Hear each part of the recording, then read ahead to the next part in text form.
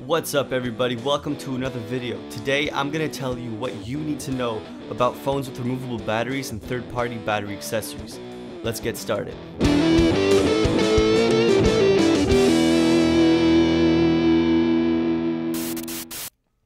Alright, so today I'm working with the Galaxy S4, the 2600 milliamp hour that it came with, and a second longer lasting 6200 milliamp hour I got off eBay for about $20.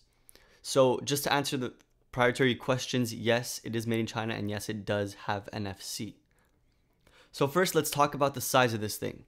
It is double the height and usually when you buy a bigger battery for your phone, they send you another battery cover to fit the battery, typically made of plastic. So first you're thinking 6200 milliamp hours. That's almost two and a half times the size of a normal battery.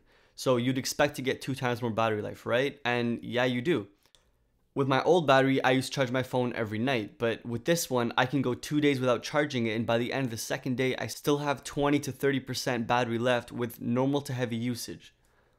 So here's some screenshots I took of my battery statistics over the past 9 to 10 months of using this thing. And now for the aesthetics.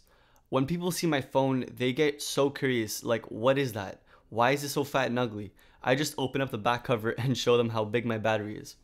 People with iPhones usually ask me why, which is kind of funny because it's not something they would understand. But people with Android phones ask me how long it lasts. So basically with this battery, I just I don't worry about battery life. I can crank up the brightness, Bluetooth games and YouTube all throughout the day and wherever I go, I know that for sure it will last me until I go to sleep. Hopefully this video helped you better understand third-party batteries and how they can be useful. I decided to go with the cheaper solution and I was still satisfied with the result.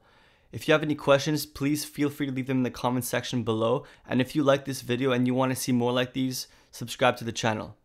Thanks for watching and I'll see you guys next time.